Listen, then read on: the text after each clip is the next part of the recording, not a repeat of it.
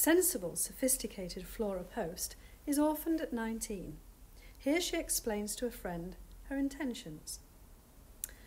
Mary, I'm only 19, but I have already observed that whereas there still lingers some absurd prejudice against living on one's friends, no limits are set, either by society or by one's own conscience, to the amount one may impose upon one's relatives.